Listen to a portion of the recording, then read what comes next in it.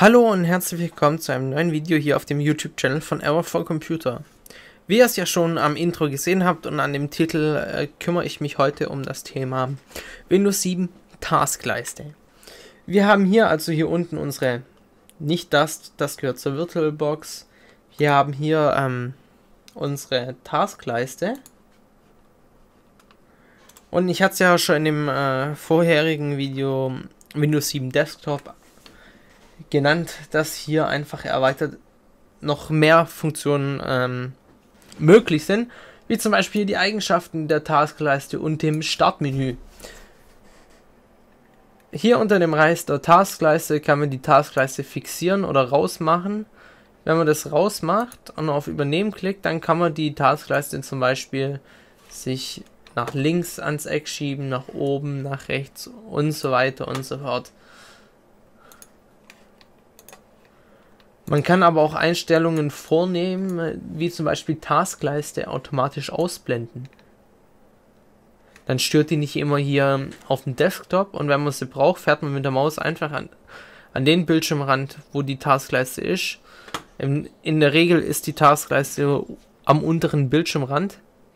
Dann fährt man einfach mit der Maus nach unten und dann taucht die auf. Und solange man mit der Maus drin bleibt in dem Taskleistenbereich, bleibt die Taskleiste auch oben. Fährt man wieder raus, fährt sie runter. Wir können hier auch einen Haken setzen bei kleine Symbole verwenden. Dann werden einfach, wie es ja schon hier der Name sagt, kleine Symbole verwendet. Dann könnte man hier noch Aero Peak aktivieren. Das wäre, um einfach die designvolle ähm, Variante zu nehmen. Wird bei euch, denke ich mal, möglich sein. Geht es hier in der virtuellen Maschine nicht. Aber jetzt habe ich hier schon ein paar Punkte übersprungen. Hier, wie ich es ja gerade eben schon mit dem äh, in die Ecke von dem Bildschirm ziehen gezeigt, hier kann man die Position der Taskleiste festlegen, ob die jetzt unten, links, rechts oder oben sein soll. Und hier unter dem Punkt Schaltflächen der Taskleiste kann man die Task äh, kann man ja die Schaltflächen anpassen. Wie man jetzt sieht, sind die alle recht klein, also immer gruppiert.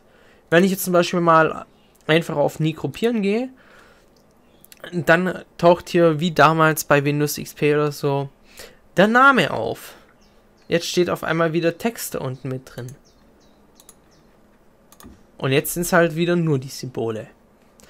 Hier kann ich auch noch den Infobereich anpassen, also hier unten die, die äh, rechte Ecke, wie zum Beispiel das Wartungssender, ob das, ähm, ob das Symbol und Benachrichtigungen anzeigen darf, ob es komplett ausgeblendet sein soll, ob es nur Benachrichtigungen anzeigen soll und so weiter und so fort. Ich brauche das jetzt nicht und das kann man hier für, für jedes Symbol ähm, einzeln anwenden. Ich habe bisher nur so wenig drin, ähm, aber es gibt na klar einiges mehr an äh, Symbolen, wenn man auch genug Programme installiert. Ebenso äh, kann man hier immer alle Symbole und Benachrichtigungen auf der Taskleiste anzeigen. Hier sich die ganze Infoleiste holen. Ich finde die Variante mit dem kleinen Pfeil aber nie schlecht, dann sieht es aufgeräumter aus. Gehen wir mal unter den Punkt Startmenü. Hier in dem Punkt Startmenü können wir dann klar das Startmenü anpassen. Ähm ich gehe da jetzt nicht auf alles ein, sonst sind wir äh, in 20 Minuten noch nicht fertig.